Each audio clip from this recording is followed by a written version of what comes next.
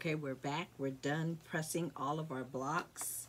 And this one has pinking on both sides and it is over the white area. So what we're going to do is we're going to take our ruler and we're going to lay it on our block and we are going to line it up on to the edge of our of our background block.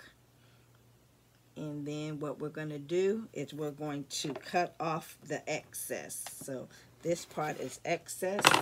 So we are going to cut that part off. And then we're going to do the same thing. Whether you turn it around or not doesn't matter. You're just going to line it up with the top of your background square. And you're going to even out that excess and I would recommend maybe getting two fat quarters of bundle one and bundle two and not doing the, not using the jelly roll because the jelly roll, the pinking shears can cause problems.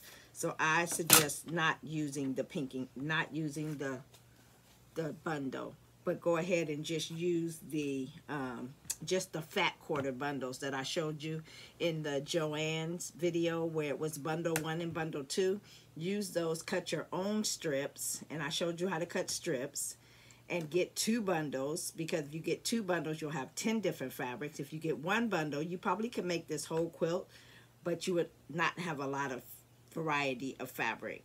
So I suggest that you get two bundles and of just the fat quarters and have 10 fabrics and not get this and make your quilt from that.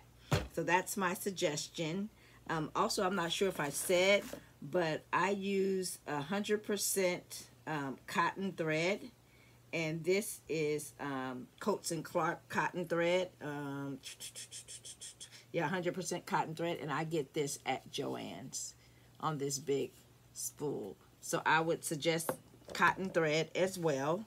And square up all your blocks. And then the next video, I'm going to show you how to lay it out before you start to sew it together. So come back for the next video and we will be laying it out and going from there.